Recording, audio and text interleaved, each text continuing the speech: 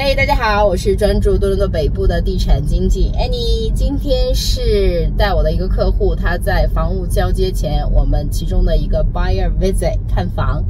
呃，这个客户是我的一个频道的粉丝啊，所以非常非常开心。我觉得借的社交媒体能够认识很多的新朋友。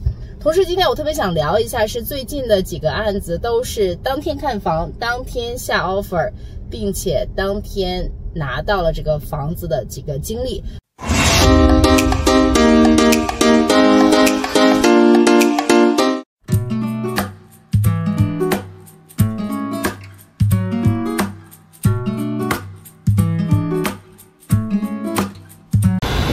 twenty。我每次加完油的时候，我就在想说，OK，我一定要换成电车，一定要换成电车。但是呢，我又觉得电车特别开不来，所以终究没有实现。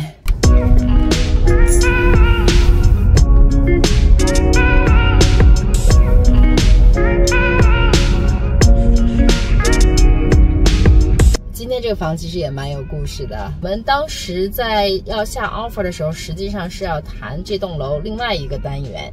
结果呢，呃，这个单元出来以后，比我们之前看的单元状态更好，楼层更高，所以 why not？上市的 day zero。马上就谈，当天晚上敲定哈，所以这栋楼呢也是要看哪一个朝向，所以当时我们就盯着这一个朝向盯了很久，其他的朝向就没有这个特点，所以买任何物业真的一定要买到它独一无二的特点，这样你未来在出售的时候也非常的好卖。Oh no，怎么又下雨了？我订了在 Aurora 非常有名的意大利餐厅，我特别喜欢坐在它那个 patio 的位置。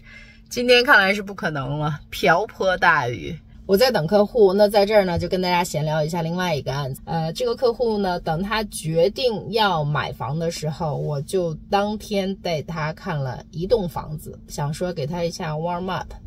那没有想到，他就说我就喜欢这一栋。那一天晚上，我是安排好了我们家的 barbecue party 哈，邀请你到我家 barbecue，然后你来的时候呢，Annie 呢，Annie 不在，所以是自助型 barbecue，OK，everything is there，你自己烤吧。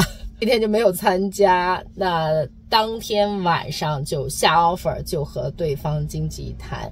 呃，我们在看房的时候呢，对方经纪说他们当时有收到 offer。其实很多时候，呃，有的时候客户会觉得说，哇，有那么巧吗？他是不是在撒谎？呃，其实绝大多数时候，我觉得这个信息你一定要相信。所以我们也是当天晚上下 offer，所以我也是非常的有点 off guard，因为我们当时没有准备。呃，对于很多人经常会出现的一个问题，觉得说我想要验房。但是我又不确定我能不能抢到这个房子，这个时候怎么处理？呃，包括我的这个客户，实际上这已经是他买的第四栋房子，他已经是呃非常有经验，而且也非常 handy 的啊一个 homeowner 哈业主。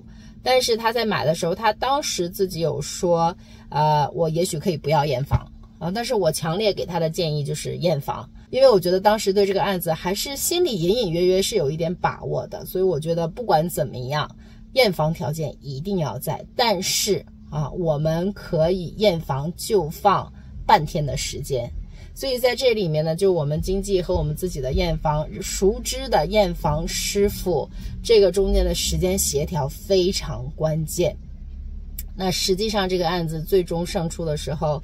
啊，listing agent 有透露一点，就是因为我们的验房，我们当天晚上下 offer，验房就截止到明天第二天的中午，好，所以几乎就和一个 firm offer 是一样的。如果业主对他的房屋有信心，没有什么 critical 重大的问题的话，好，那么买家也安心了，因为他做了一个验房，那么卖家也觉得，哎呦，你交 deposit 的时间都还没到，你验房就做完了，所以这个时间其实就掐得非常好。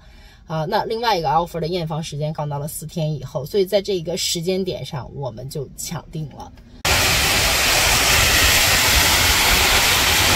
我为什么这么强调验房？因为在很多年以前，当时我记得很清楚，我看过一个房子，那个房子里面的业主住的非常的精心，然后呢，园林也打理的非常的好啊。可是那个房子在验房的时候，发现屋顶有很严重的 mold，连业主自己也没有想到。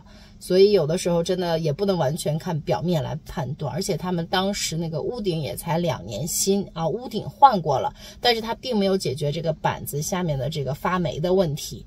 啊，所以真的不能光靠里面来判断这个房屋整体的一些情况，包括地下室没有漏水啊，啊，屋顶和地下室是两个重要的板块，所以呢，我觉得如果可以的话，啊，一定要争取到验房的条件。